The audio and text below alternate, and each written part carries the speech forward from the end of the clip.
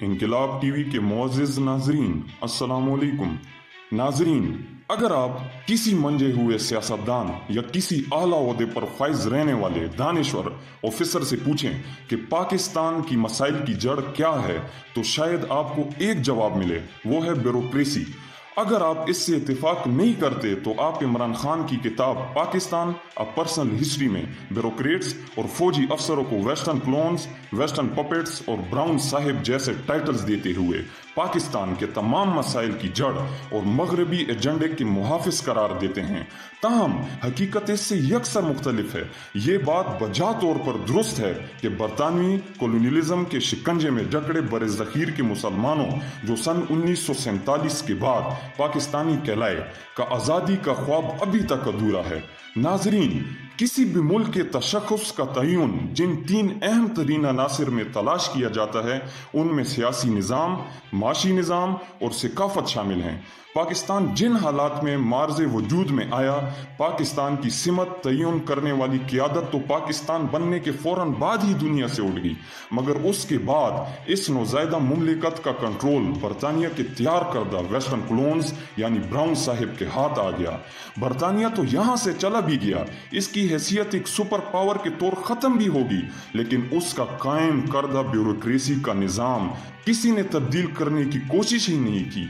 और साथ ही बरतानिया की जगह अमेरिका ने लेकर पाकिस्तान को जनरल अयूब के दौर में मगरबी तर्ज की जमहूरियत की पटली पर डालने की कोशिश की। बुटो ने भी सियासतदान होने के बावजूद वही एजेंडा आगे बढ़ाया। यही काम बाद में आने वाले तमाम हुक्मरानों ने जारी रखा। लेकिन पाकिस्तान को मगरबी रंग में रंगने की जिस अंदाज में कोशिश जनरल मुशर्रफ ने की, वो दूसरे हुक्मरानों से ज़्यादा मौसर साबित हुई। इसलिए इमरान खान साहिब ने जनरल साहिब का नाम लेकर उनको अपनी किताब में अमेरिकन पपेट लिखा है। ये भी पाकिस्तानी तारीख का एक ना जोटलाया जाने वाला पहलू है कि बैरूनी ताकतें पाकिस्तान पर अपना एजेंडा, आर्मी, सियासतदानों, मजहबी कुतों और ब्यूरोक्रेसी की आपस की कशमकश की वजह से मुसलत करने में कामयाब हुई। पाक फौज की मुख्तर हलकों में वाज तब्दीली इस वक्त आनी शुरू हुई, जब नाम निहाद दहशत गर्दी की जंग में पहले पाकिस्तान को इस्तेमाल किया गया, फिर पाकिस्तान को तोड़ने की कोशिश की गई। अमेरिका ने पैंतरा बदल कर सियासतदानों, कुछ इस्लामी कुतों ब्यूरोक्रेट्स और एक मज़बूत मीडिया मुहिम के ज़रिए पाक फौज और पाकिस्तान को चीन का फरीक और बैन अवी ग्रेड गेम में अमरीकी हलीफ भारत का हरीफ समझते हुए कुचलने की कोशिश की। इस अमरीकी चाल की वजह से सबसे बड़ी तब्दीली पाक फौज की सोच में अपनी साख और पाकिस्तान को बचाने की खातिर पैदा हुई।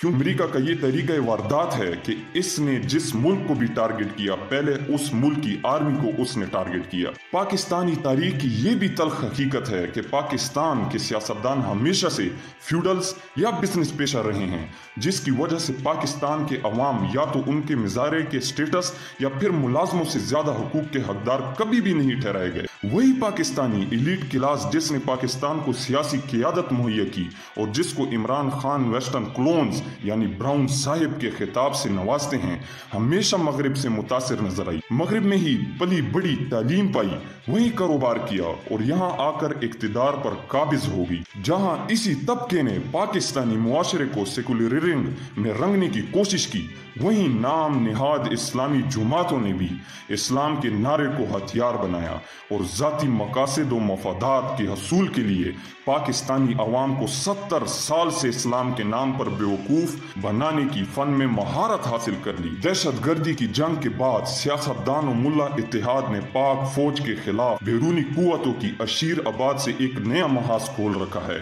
जिसके अजाब में आजकल पूरा पाकिस्तान और तमाम पाकिस्तानी मुबतला हैं। पाकिस्तान की वो सिमत जिसके लिए इसको हासिल किया गया था, यानी पाकिस्तान का मतलब क्या ला इलाहा इल्लल्लाह का इजाजम के बयान करदा सियासी अफकार में बेहतरीन अंदाज में समझा जा सकता है। एक मौका पर क्याम के फ़ौरन बाद जब उनसे सवाल किया गया कि पाकिस्तान का आइन कैसा होगा तो उन्होंने बरजुस्ता कहा कि कुरान करीम की मौजूदगी में मैं कौन होता हूँ पाकिस्तान का आइन बनाने वाला? ये हकीकत है कि पाकिस्तान के बानी और उसके साथी पाकिस्तान को एक जमहूरी मुल्क बनाना चाहते थे।